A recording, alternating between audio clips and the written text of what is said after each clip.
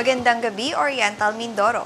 Mula sa bulwagang pambalitaan ng Tamara Vision Network, ako po si John Perez Alberto, ito po ang TVNet Newsline. Ikatatlumput isa sa buwan ng Enero taong 2022.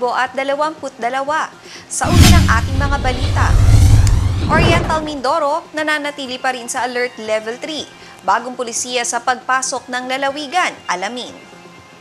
COMELEC naglabas na ng ballot face templates. At Small Business Corporation, isinara na ang aplikasyon para sa Bayanihan Cares Program sa mga MSMEs.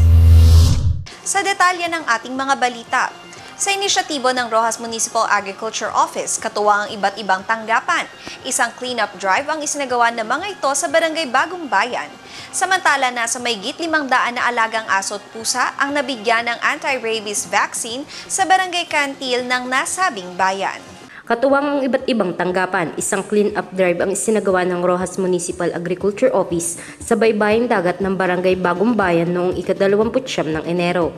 Kaisa sa naturang gawain ay ang MDRRMO, PNP Maritime Group, Philippine Coast Guard, Rojas MPS at Bantay Dagat Team. Sa inisyatibong ito, sama-sama itong naglinis ng naturang coastal area na kung saan iba't ibang uri ng basura ang kanilang nakalap. Ayon sa tanggapan, naglalayon ang gawain na mapanatiling malinis ang kapaligiran ng dalampasigan ng mga baybaying dagat sa kanilang lugar. Samantala, bukod dito, patuloy rin ang pag-iikot ng isinasagawang anti-rabies mass vaccination ng Municipal Agriculture Office. Base sa kanilang datos sa isinagawang pagbabakuna sa Barangay Kantil, nasa 539 na alagang aso at pusa ang nabigyan ng anti-rabies vaccine.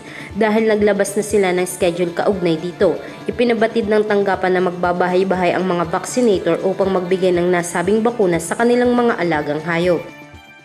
Samantala, isinara na ang Small Business Corporation ang Bayanihan Cares. Ang Bayanihan Cares o COVID-19 Assistance to Restart Enterprises Program sa mga MSMEs na nagnanais na humiram ng pondo sa pagsisimulang muli ng kanilang negosyo na naapektuhan ng pandemya. Tiniyak naman ng nasabing ahensyang patuloy ang kanilang tanggapan ng aplikasyon ng assistance para sa travel, staples at heroes loan. Simula January 31, 2022, epektibo ng isinara ng Small Business Corporation ang Bayanihan Cares o COVID-19 Assistance to Restart Enterprises Program dahil ang pondong laan dito ay naiparam na sa lahat ng micro, small and medium enterprises. Sa dalawang taong implementasyon ng programa, nasa mahigit 40,000 MSME sa buong bansa ang natulungan nito na kung saan may kabuang nasa 6.8 billion pesos ang naaprubahang loan. Tiniyak naman ng SB Corp na patuloy ang kanilang kanilang pagtanggap ng aplikasyon para sa mga special programs sa mga tourism-related establishment, displaced OFW, retail stores, mini groceries at small dealers na kabilang sa consumer goods supply chain. Ang COVID-19 assistance sa travel program ay may malaki pa ring pondo para sa pagpapautang dahil sa mabagal na recovery nito dulot ng pandemya. Ayon pa rin sa nasabing ahensya, mas pinalawak pa ang saklaw nito na kung saan kabilang na ang lahat ng tourism-related enterprises na may anumang accreditation sa DOT. Ang mga secondary tourism enterprises at support services tulad ng transportation, events organizing, souvenir shop ay maaari rin mag-apply sa naturang loan. Nilinaw rin ng SB Corp na hanggang 11.59pm lamang ng January 31, 2022 ang kanilang pagtanggap ng aplikasyon para sa Bayanihan Tears Loan. Samantala, patuloy naman ang kanilang pagtanggap ng aplikasyon para sa travel, staples at heroes loan lumagpas man sa nasabing petsa. Antabayanan ng iba pang mga balita sa aming pong pagbabalik. Bakit ka kasi kumabit? Alam mong di tama yan, di ba? Huwag ka nang gumamit ng pag-aari ng iba. Nakakaperwisyo ka sa mga legal na cable. Lumalabo ang signal nila. Mahiya ka naman, hoy. Illegal na cable mo, putulin na. Gusto mo bang umabot pa sa kulungan? Umiwas ka na sa gulo tsaka skandalo. Huwag maging kabit. Magpakabit ng tama ngayon. Supported by PCT. Good news po para sa lahat ng subscribers ng Cable TV at Cable Internet. Naisabatas na po ang Anti-Cable Television and Cable Internet Tapping Act of 2013. At ayon dito, bawal makikabit ng cable TV at cable internet. Ang parusa sa sino mang lumabag sa batas na ito ay pagkakakulong at pagbabayad ng malaking multa. Bayad ka na nga, kulong ka pa. Kim at Yensa po, nagsasabing pagdating sa batas, hindi weather-weather lang. Tumatwagin kabit, supported by the PCTA.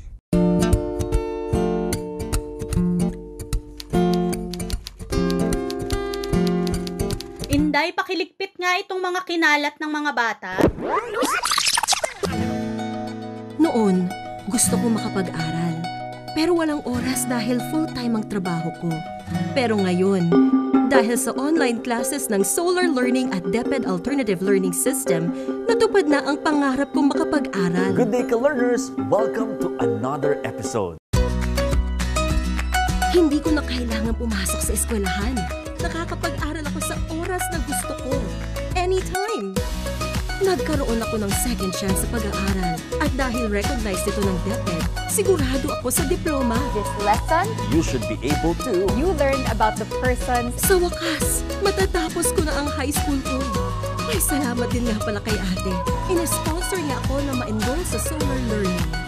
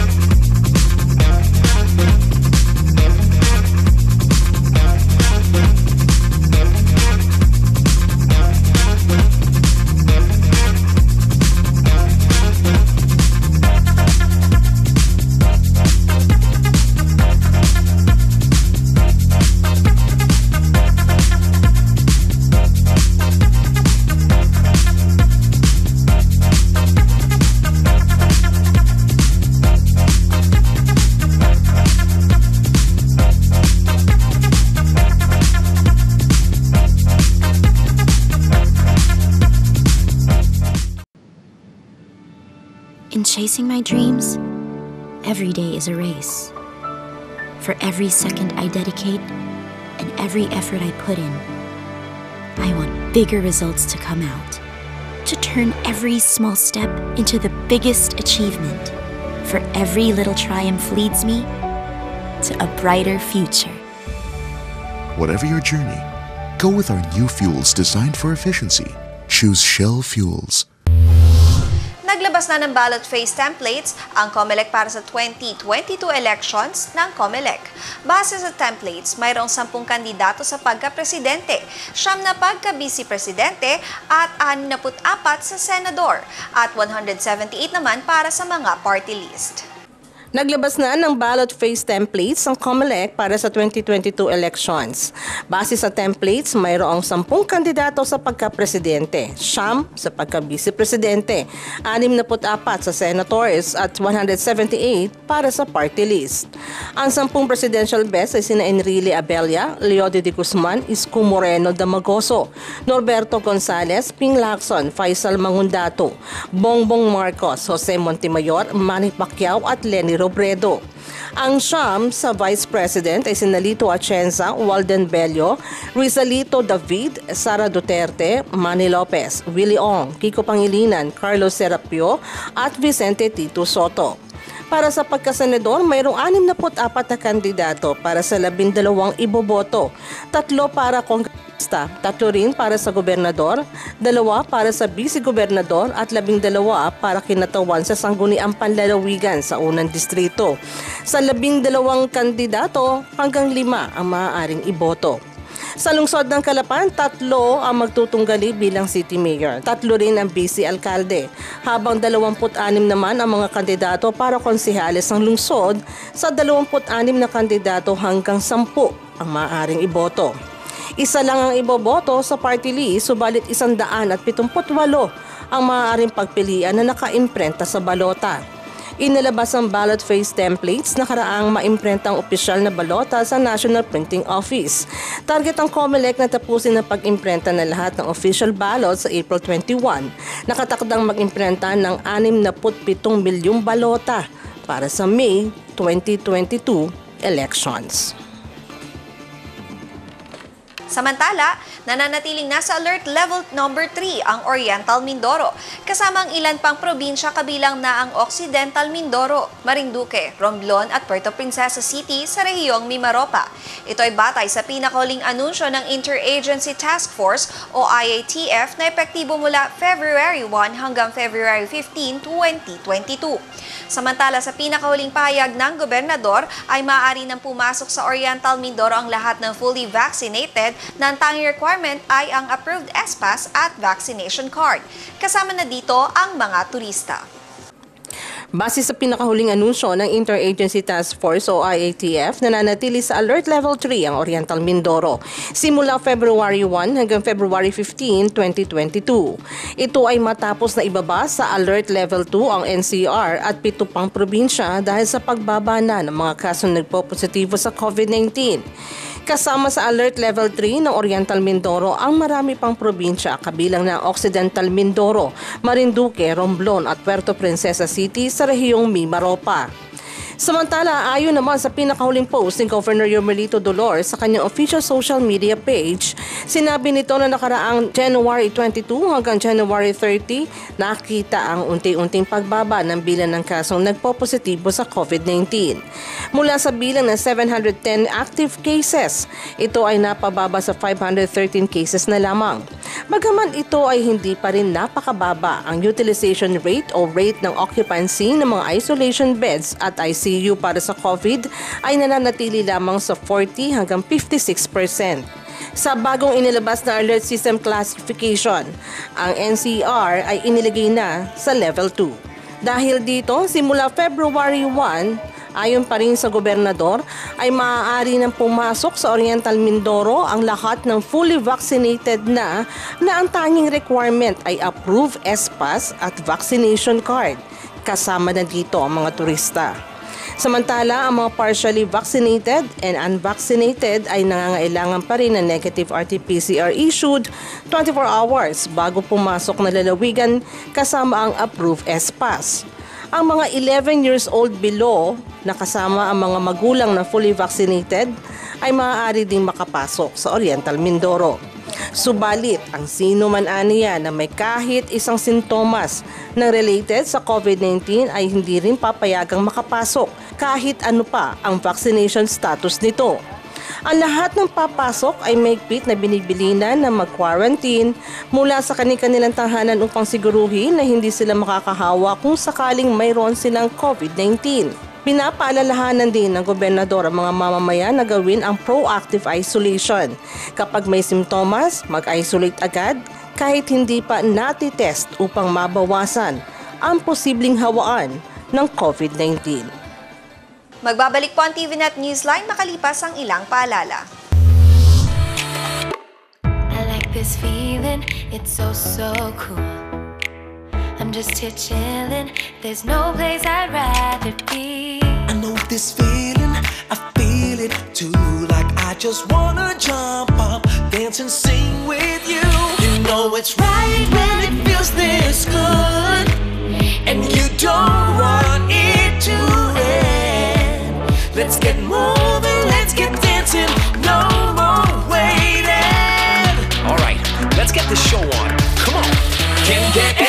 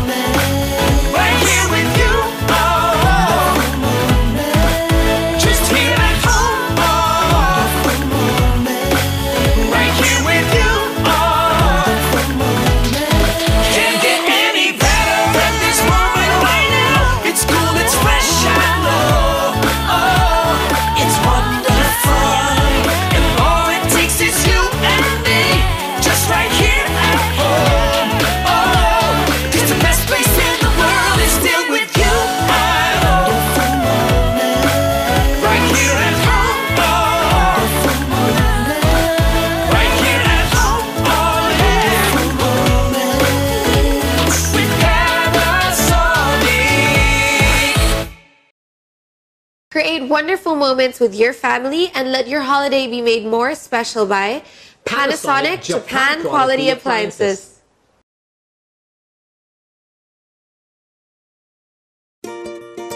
My Sophia really loves summertime, but the heat can get unbearable for her. Good thing we have the Samsung wind-free air conditioner, which cools our home fast and cools comfortably from sunrise to sundown.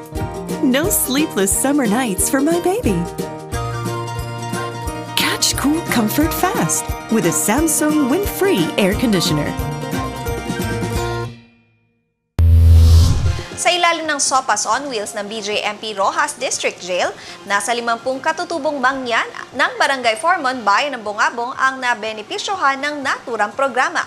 Bukod dito, isang tree planting activity rin ang isnasagawa sa nasabing barangay, kung saan puno ng nara at guyabano naman ang naitanim nila. Hindi lamang sa kabayanan at barangay umiikot ang Sopas Wheel ng BJMP Rojas District Jail. Kamakailan lamang, nagtungo ang mga ito sa komunidad ng mga katutubong mangyan sa barangay Formon, Bayan ng Bungabong upang ilapit sa mga ito ang kanilang programa.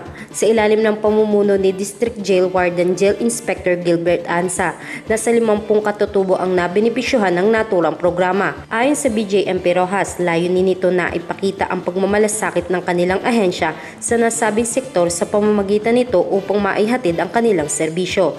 Samantala, katuwang ang mga katutubo, nagtanim na rin ng mga puno ng nara at guyabano sa nasabing barangay upang paigtingin ang kanilang National Greening Program. Tinaniman nila ang bahagi ng lupain ng komunidad ng nasa 50 punong pananim na kung saan nais ng aktibidad na ipakita at itaas ang kamalayan ng mga katutubong mangyan sa kahalagahan ng pagtatanim, pagprotekta at pangangalaga ng iba't ibang uri ng puno. Samantala, muling nagpamalas ng pakikisa ang Baco Municipal Police Station sa pamumuno ni Police Captain Ismael Historillo sa pagsuporta sa programa ni Chief PNP General Leonardado Carlos sa pagpapatupad ng PNP Community Outreach Program noong nakarang 29 ng Enero.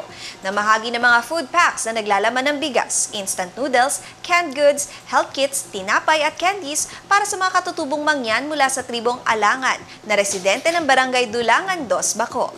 Layunin ng kapulisan na palakasin ng diwa ng bayanihan sa pagtulong sa isa't isa, partikular na sa mga katutubo ng Isla ng Mindoro, lalo na ngayong panahon ng COVID-19 pandemic. Maaari niyo rin po kaming mapanood sa YouTube. I-type lamang ang TVNet Newsline. Bisitahin at i-like rin ang aming Facebook page, Newsline Channel 10. At yan po ang kabuuan ng mga balitang nakalap ng Newsline staff and crew para sa araw na ito. Para po sa inyong comments or suggestions, mga balita at impormasyong nais niyong iparating sa aming programa, tumawag po lamang sa 04328842240. Ito po ang TVNet Newsline, katotohanan at serbisyo hatid sa mga Mindoreño. Ako po si John Perez Alberto. Maraming salamat sa inyong patuloy na pagsubaybay.